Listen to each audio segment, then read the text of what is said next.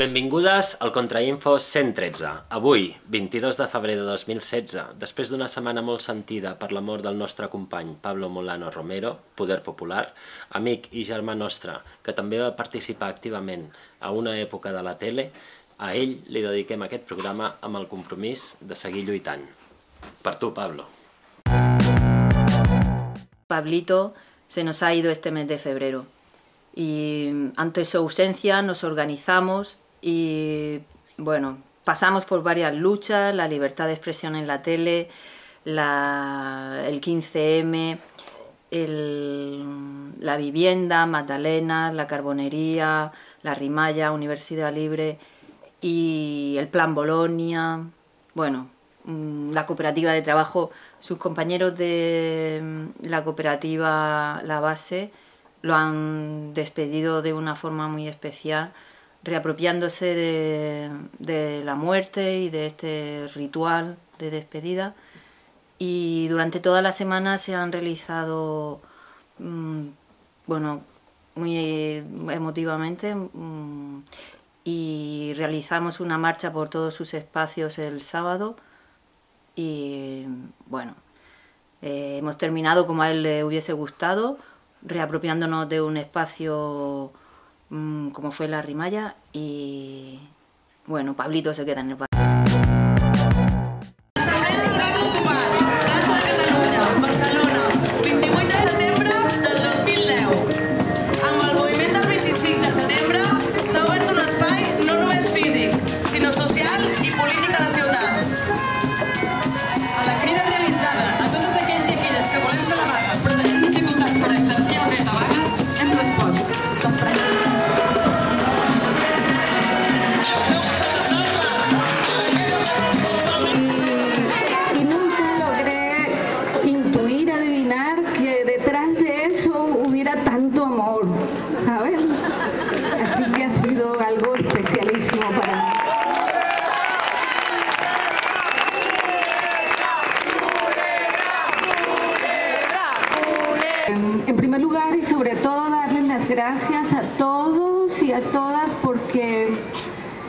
este, este desastre, esto que estoy viviendo, eh, se, ha convertido, se han convertido en días de felicidad con ustedes.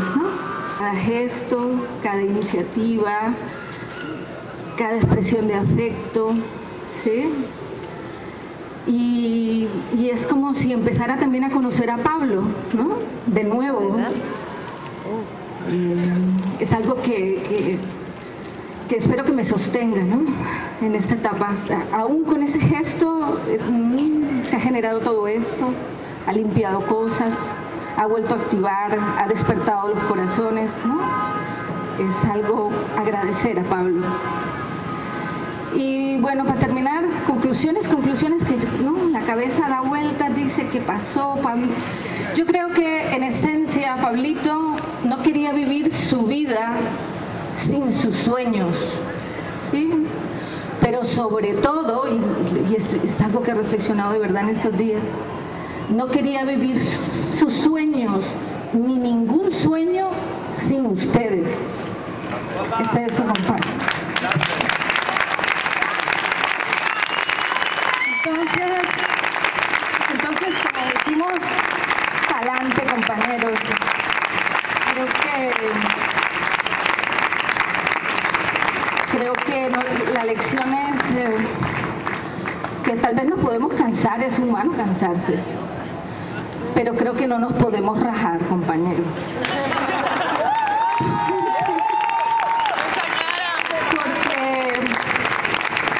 Porque me, disculpan que termine con una frase así tenaz, pero yo creo que, que la vida sin, sin tus sueños es una mierda. Así de simple, compañera.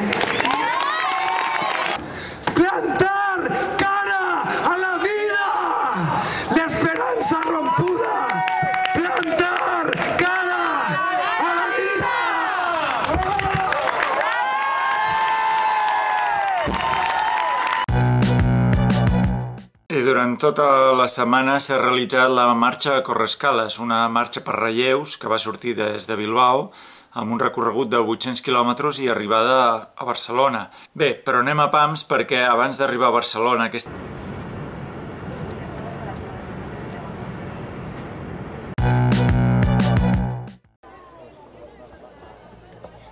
Estem a la plaça Prim de Reus, a punt de començar aquí el relleu de Reus està a punt. Què, estem a punt, companys? Sí, i tant. Què, fins on anireu vosaltres? Tarragona. A Tarragona. Tarragona i de Tarragona a Altafulla. Ah. I després Altafulla. Molt bé. Vinga, el relleu de Reus està a punt. Obre escales. Un trajecte... Bombers de Reus, solidaris? O...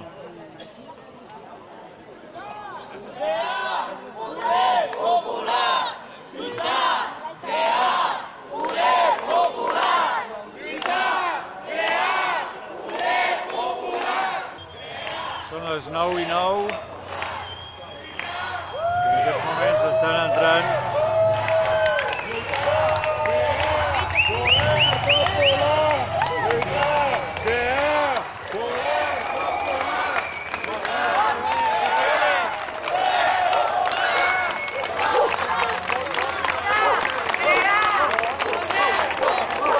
Reus, tots els ànims d'aquestes corredores que lluiten contra la precarietat de tots i de totes. Crear, lluitar, poder popular. Veieu, s'acaba de produir. D'on veníeu vosaltres? De, veníeu? del Cuber. Del Cuber, molt bé. Ha sigut dur? Fem una foto?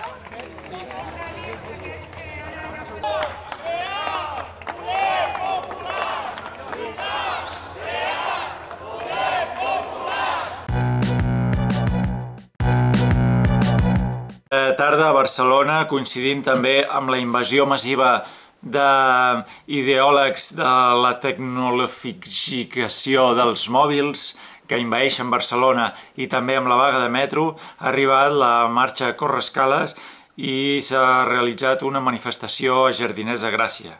Està molt a prop i l'hem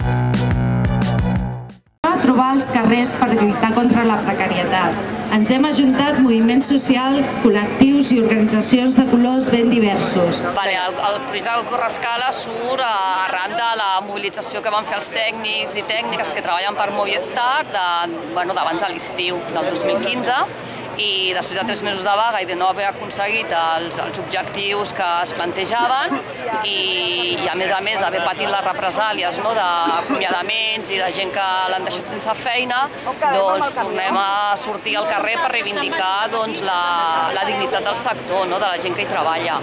I, i doncs això, denunciar la precarietat i que, bueno, que en el Mobile Congress doncs, això és un aparador de, de, de modernitat, de progrés no? I, de, i, de, i del gran capital i tots aquests beneficis que en treuen és de la precarietat de la gent que treballa i això és el que volíem denunciar, no? aquestes dues vessants d'aquesta història. Yo he corrido desde San Vicente de Lloret hasta aquí hasta Barcelona. Y muy bien. Me- yo me uní, subí desde Madrid y me uní a la- el otro día con ellos en Lleida. Y he estado pues eso, siguiendo la carrera y haciendo los apoyos para ir a los pueblos a contar el que es el Correscales y la lucha de los técnicos de Movistar. que es va fer un Verkami també? Sí, el Correscales doncs, és un projecte de, que té la, la pota econòmica, que és la del Verkami, que el que s'intentava era recaptar els diners suficients per retornar el crèdit que ens va deixar el COP57 per poder resistir la vaga i més de més doncs, allò que hem eh, recollit que supera el crèdit que havíem demanat doncs es crearà una caixa de resistència que encara està per veure com es gestionarà però la idea és que qualsevol col·lectiu o empresa en lluita pugui fer ús d'aquesta caixa de resistència per poder dur a terme doncs, bueno, doncs la seva lluita de tal. I després està la pota doncs, de, de la solidaritat, no? que és també una manera d'agrair per totes les localitats que hem passat, doncs agrair a la gent doncs, tot el suport que ens han donat, tant a la vaga com bueno, doncs, el suport econòmic. No? I després està la pota sindical, que és que ja que els sindicats majoritaris no fan la feina que haurien de fer, doncs la resta de col·lectius i sindicats minoritaris el que hem de fer és denunciar la precarietat la precarietat que, que patim les treballadores, que ens, que ens fan les empreses, però que també els sindicats no o sigui, ho toleren, no? no...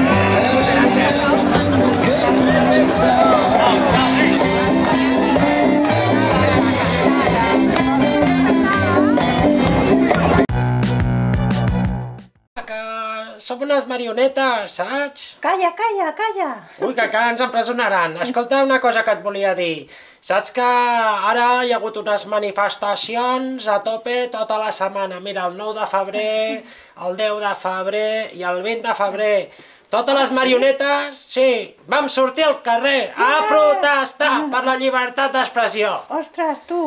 Sí. ¿Por qué? i ¿Qué ha pasado? ¿Qué ha pasado? Bueno, perquè és que han empresonat a, a unes companyes marionetes, titellaires, els títeres des de abajo.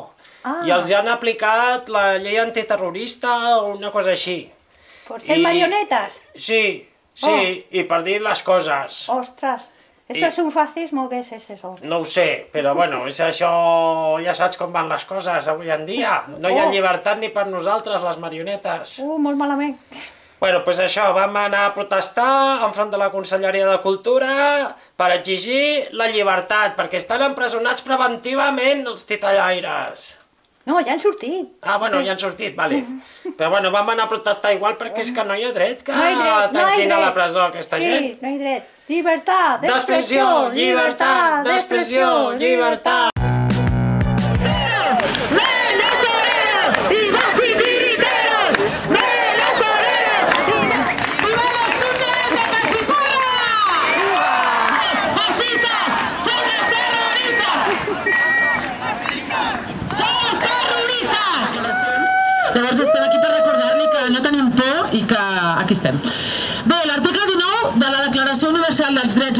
Diu Tot individu té dret a la llibertat d'opinió i d'expressió. Des del passat divendres 5 de febrer, Raúl García i Alfonso Lázaro, els dos integrants de Títeres des de Abajo, estan a presó incondicional sense fiança. Avui dimarts, dèiem abans, fa 5 dies i 4 nits. Això és molt de temps. En aquest cas, el jutge de l'Audiència Nacional, el senyor Ismael Moreno, considera que hi ha proves més que suficients per declarar-los culpables i ha anul·lat tota possibilitat de que surtin en llibertat sota fiança. Evidentment, l'Ajuntament ja sabem que ha corroborat la seva decisió i tampoc de moment retira la denúncia. L'Ajuntament de Madrid. No hem d'oblidar que la llei orgànica de protecció de la seguretat ciutadana, la llei Mordassa, va entrar en vigor el juliol de 2015 i no és casual. Paradoxa criminal. Una obra de titelles que denuncia la criminalització política d'alguns col·lectius en lluita és objecte de la criminalització política que denuncia. No recordem que els governants i la seva manera de gestionar la cultura tenen clarament una intenció política. Tots nosaltres estem millor callats, vestits de Bob Esponja, caminant junts cap al pensament únic que tan còmode ens resulta. El que hauria de ser delicte és privar l'ésser humà de llibertat d'expressió i de pensament, de llibertat de ficció. El que hauria de ser delicte és privar-nos d'utilitzar la cultura com a espai de pensament, com a lloc des d'on practicar la dissidència. Els dissidents no són terroristes. La cultura és lliure i plural. Els polítics i les seves mesures de govern han de fomentar i garantir aquesta llibertat i aquesta pluralitat i no reprimir, no condemnar o mirar cap a una altra banda. El seu silenci els fa còmplices. Santi! El teu silenci et fa còmpliç també. Un país que negligeix i destrueix la cultura i la seva pluralitat està destinat a la decadència en tots els àmbits, a la pobresa material i espiritual. És un país sense futur. Sense cultura no hi ha futur. Demanem, bé, no demanem, exigim el posicionament públic de les nostres institucions davant un fet tan greu com aquest. Demanem que es condemnin aquestes detencions. Demanem llibertat d'expressió. Manifestem el nostre suport incondicional a títeres des de, des de abajo i exigim la llibertat immediata de Raúl i Alfonso. Sense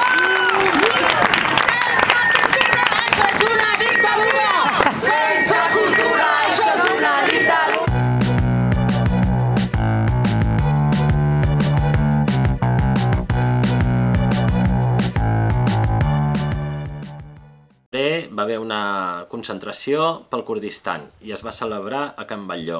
Va ser organitzat pel col·lectiu Azadi i Can Batlló. I allà es va parlar de la realitat de les guerrilles kurdes, de l'actualitat en aquell país, les perspectives de conflicte, va haver música de Sílvia Tomàs, va haver un dinar amb menjar curt, va haver llibres, fanzines, anarquisme, aigua, concerts i molt més.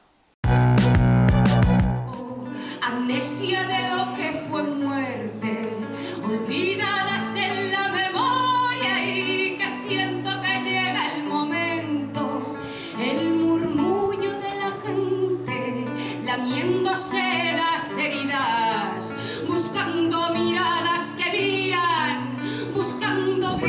plataforma Zadí, que es un colectivo que se ha montado en la región de los países catalanes eh, para difundir lo que está pasando en el Kurdistán, sobre todo en el Kurdistán norte, en y en el Kurdistán eh, oeste, en Rojava.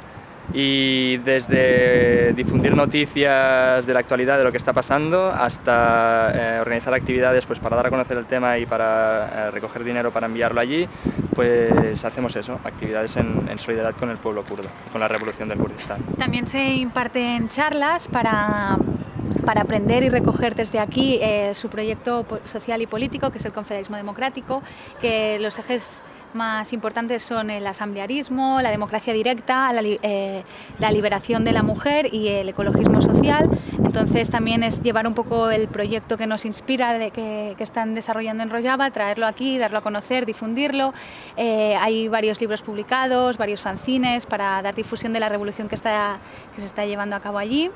Eh, y también ahora uno, uno de los de, del, motor de, la jornada y, de la denuncia es toda la represión que el Estado turco está llevando a cabo contra los kurdos de, que, que, viven en Bakur, que es el Kurdistán de Turquía, eh, porque están llevando a cabo un genocidio en el cual están sitiando ciudades, asesinando a la gente, reprimiendo manifestaciones muy duramente. Entonces es hacer toda esa denuncia para para, para reclamar eh, que, se pare el genocidio y también para que eh, el PKK eh, se quite de la lista de organizaciones terroristas, ya que criminalizar al PKK es criminalizar a la, el movimiento de liberación kurdo, porque está formado por, millones de personas, un movimiento popular de base entonces, por todo eso consideramos que es importante eh, la conexión entre comunidades, entre personas, entre luchas y tener aquí en, en Cataluña una base de, solidaridad hacia el pueblo kurdo.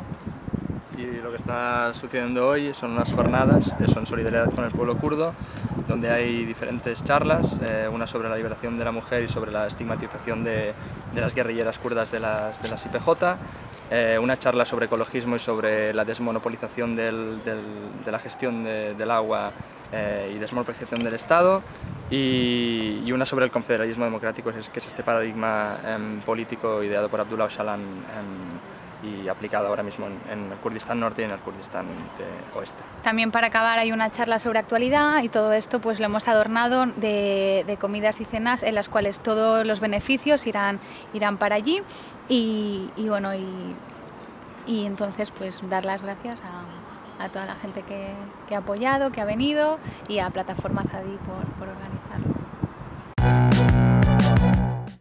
Han passat 10 anys del 4F. Aquest febrer de 2016 es va celebrar i eh, presentar el llibre Ciutat Morta, crònica del cas 4F. Bueno, presentamos hoy, después de 10 años, el libro del 4F, en la idea un poco de cerrar un ciclo que se empezó hace 10 años y queremos cerrarlo de alguna manera con una celebración, si es que se puede celebrar algo, que es justamente este libro que eh, es un poco para acompañarnos en el cierre de este proceso con la idea de que la memoria está escrita, que no queremos que se olvide lo que ha pasado, también queremos pasar página y empezar algo nuevo, pero porque el caso este ha cerrado, pero el contexto y las condiciones de posibilidad que permitieron que ocurriera esto siguen, siguen activos y siguen vivos. Y por eso este libro. Soy Mariana Huidobro, la mamá de Rodrigo Lanza, bueno, del 4F y autora también junto con Helen y Catu y bueno, este es un libro con mucha autoría, ¿no? de, mucha gente. Como deben ser contadas y no a través de palos, de mentiras, de falsedades, de falsos testimonios y de corrupción. Importante y simbólico en definitiva y que para nosotros tener a tanta gente después de 10 años de que hemos estado en la nada ahí contra el muro chocando Eh, quiero agradecerles estar aquí, hay mucha gente, y, y, tener la oportunidad de estar en este lugar y por lo menos cerrar un, ¿no? un círculo de volver al inicio siempre es algo que... No sé en la cárcel un poco se relajó, pero volvieron a entrar. Tratamos de agachar la cabeza al sistema, ¿no? Eh, pero eh, fue el suicidio de la patria y nos dimos cuenta que hay que seguir luchando. Y bueno, me emociono cada vez que hablo de la patria. Eh, y seguimos, como siempre, eh, seguimos adelante y la gente, recuerdo a tantas amigas, amigos que me decían, ya, para Mariana, ¿sabes? Da vuelta a página, ya está, la condena está, ¿para qué sigue? Rehace tu vida, ¿no? Yo creo que hay toda la gente... de una seria investigación interna referida tanto a la Guardia Urbana como a los políticos que fueron parte del montaje. Y tras esta investigación, consecuentemente, tendrá que haber dimisiones, destituciones, cancelación de pensiones vitalicias a torturadores. Usar un poco y... Oh, Dios mío. Y estas cosas siempre me pasan a mí, se me, se me conoce por la suerte que tengo. A las que no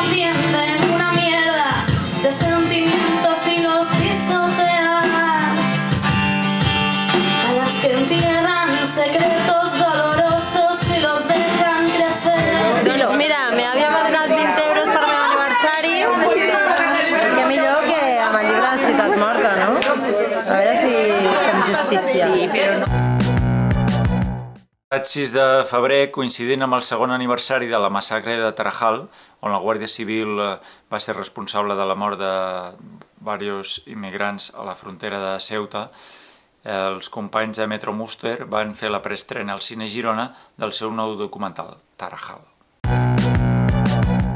Hasta que uno no va a la playa del Tarajal, da la sensación de que este es un sitio recóndito, perdido en algún lugar de África, y la gente no es consciente de que esto pasa delante de un puesto fronterizo, frente a una parada de taxis y cruzando la calle de una cafetería. Era, era hora punta. Todos los trabajadores marroquíes, todos los porteadores, todos los que entran a Ceuta, lo, lo hacían a esa hora. control migratori en general, per fer una esmena a la totalitat a com l'està portant a terme la Unió Europea, per introduir una mirada postcolonial també, i, i per parlar i posar sobre la taula temes com el dret a la mobilitat. Considero que debería ser archivado, no suelto. Debería ser archivado porque no considero que haya habido ninguna vulneración.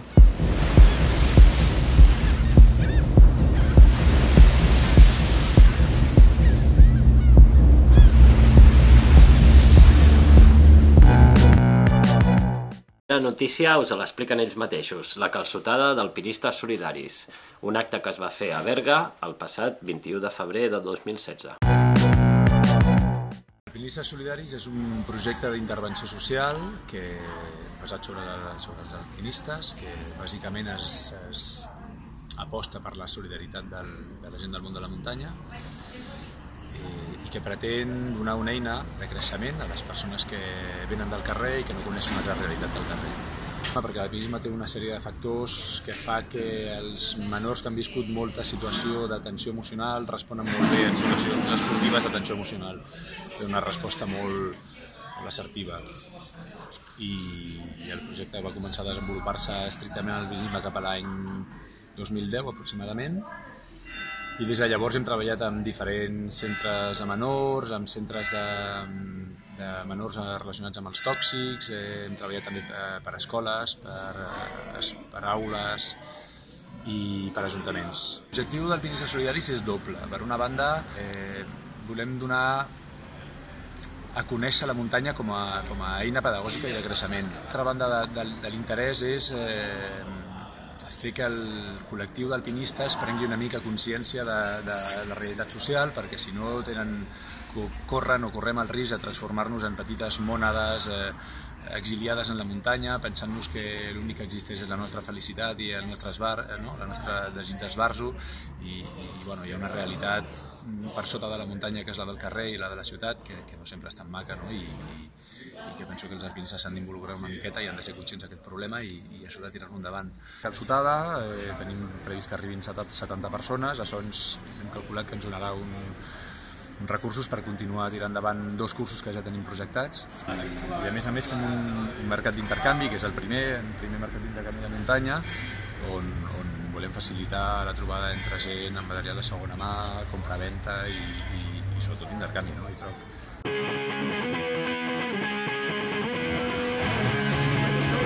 Queremos más autopistas, queremos más.